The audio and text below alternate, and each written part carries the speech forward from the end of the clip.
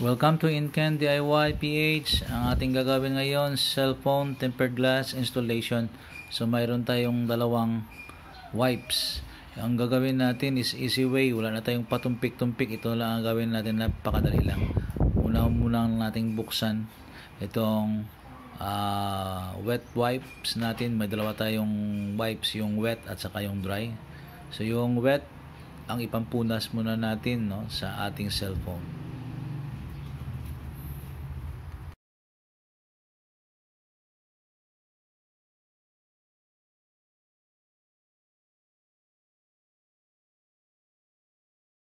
Tanggalin natin lahat ng mga makita natin na alikabok or dumi. Matapos natin mapunas yung uh, wet. Buksan naman natin yung dry wipes natin. At ito naman yung uh, ipunas natin sa ating cellphone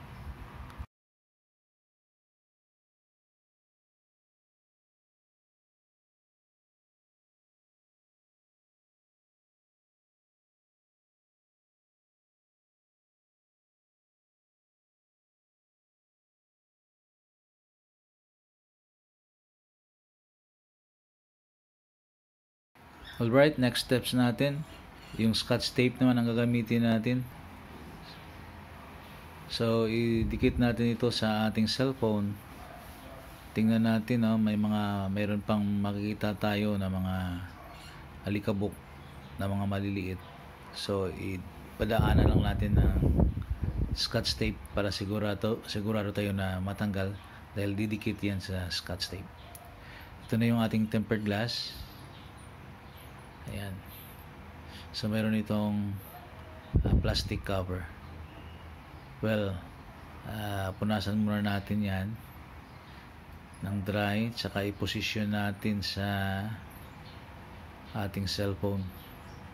So, kailangan ang ating alignment ay eksakto. Next, padikitan natin ng scotch tape para hindi matanggal ang alignment natin. Ayan, sa gilid tayo maglalagay ng ating scotch tape.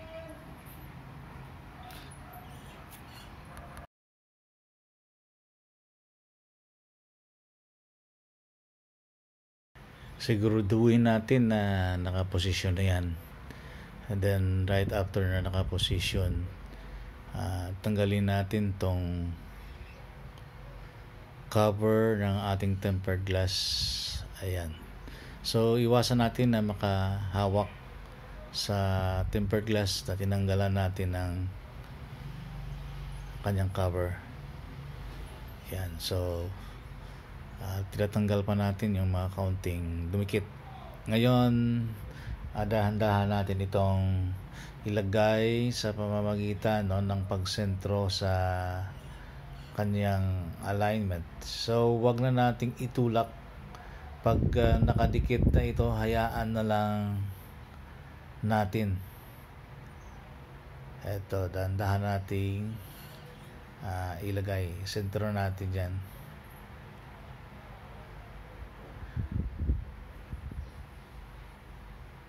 Okay. Well yan. Huwag nating itulak. Kaya ano lang natin. May makikita tayong mga bula. Ayan unti-unti na siyang natatanggal. Okay, now na matapos yan, gamitan natin ito ng malambot na card at daanan natin ito no para mayroon pa mga bubbles tayong makikita sa loob para matanggal natin yan sa pamamagitan ng uh, pagtulak yung card na gagamitin natin medyo malambot lang hindi masyadong matigas para maiwasan nating babasag ang ating tempered glass.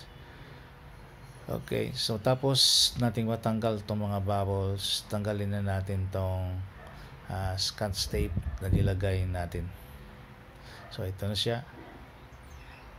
Next, finalization, isa pa, padaanan ulit natin. Then, ito na, ilagay na natin yung sa likod ng kanyang protector or cover. So ganito lang tayo kasimple sa paglagay ng ating uh, tempered glass. Thank you for watching.